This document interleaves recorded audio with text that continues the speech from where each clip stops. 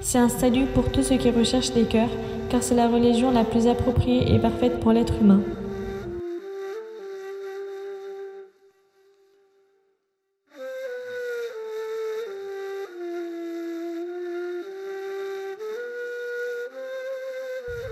Natalia compare également l'islam au christianisme, dont elle était membre. Elle voit et croit à la beauté de l'islam.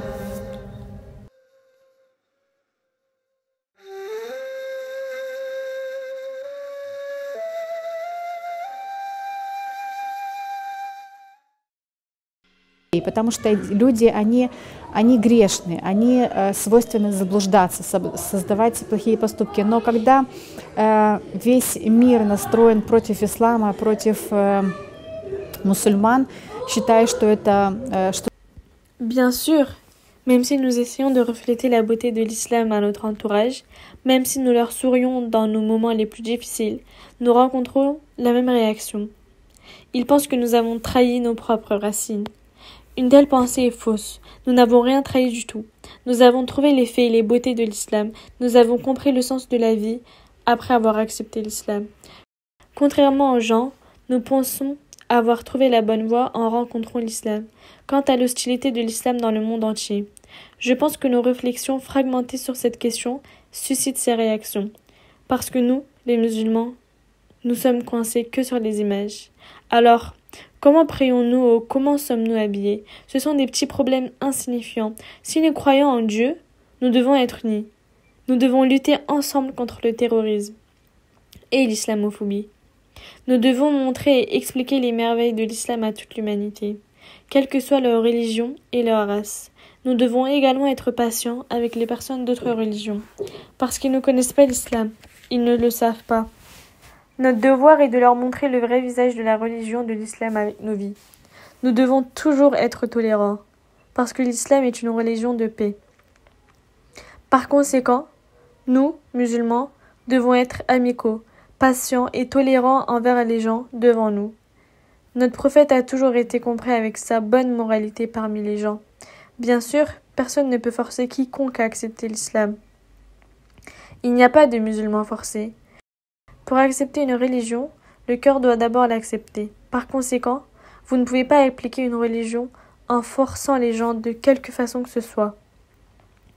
Par exemple, je suis musulmane, mais je ne pourrai jamais forcer mon voisin à l'être. Je suis seulement responsable de montrer cela aux gens de ma vie.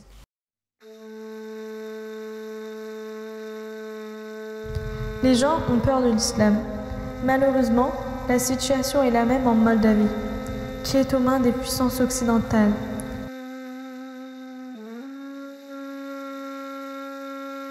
Avant que Natalia ne devienne musulmane, ses opinions sur les musulmans et le monde islamique le prouvent.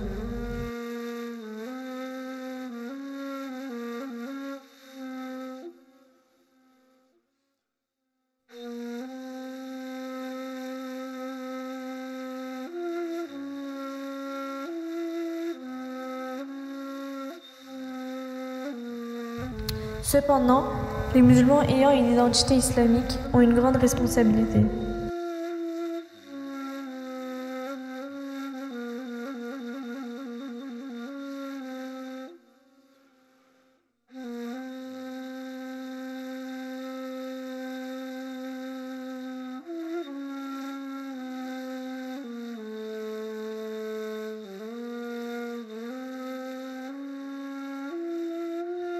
Les musulmans doivent être sûrs de leurs mains, de leur langue, de leur taille et de leur confiance.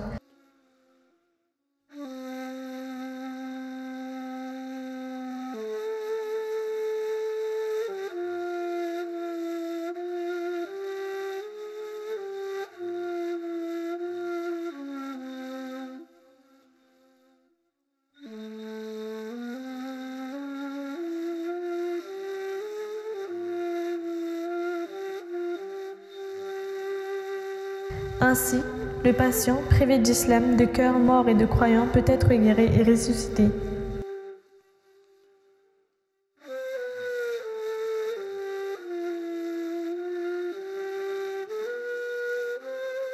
Qu'il connaisse correctement l'islam.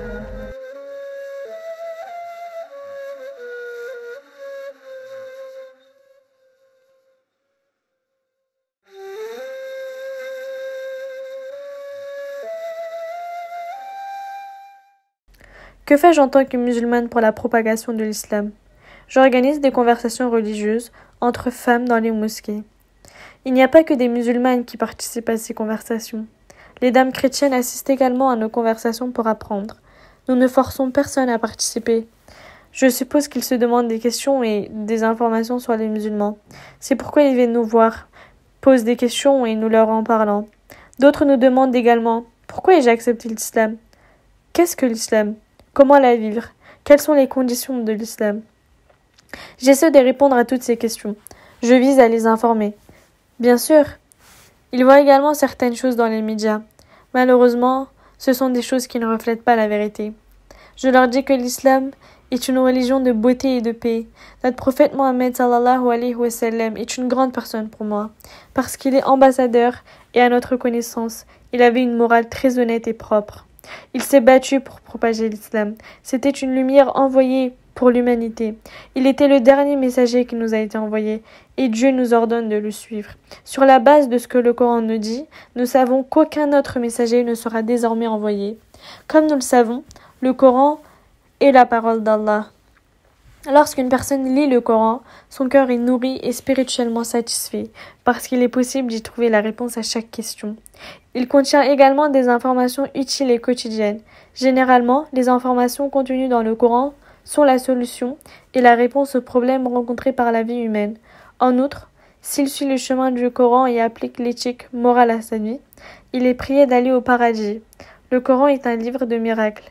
L'humanité et la science se familiarisent avec certaines découvertes alors que le Coran les a dites il y a 400 000 ans.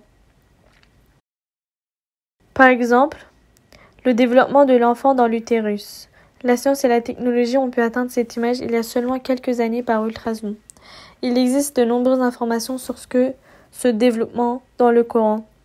Il est également dit que les eaux avec des contenus différents ne se mélangent pas. Aujourd'hui, nous constatons que même si l'eau douce et l'eau salée s'écoulent vers une source, elles ne se mélangent pas. En d'autres termes, lorsqu'une personne comprend le Coran, elle trouvera des informations très utiles et précieuses sur le monde ou sa vie privée. En effet, il est possible de trouver toutes les informations sur la façon de vivre dans ce monde dans le Coran.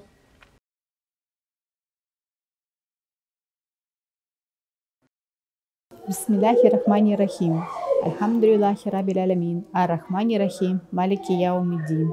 Ияка набуду ва ияка настаин, Ихдина сират аль-мустаким, сират алязина анамта алейхим, Гариль Магдуби алейхим, Валяддалин.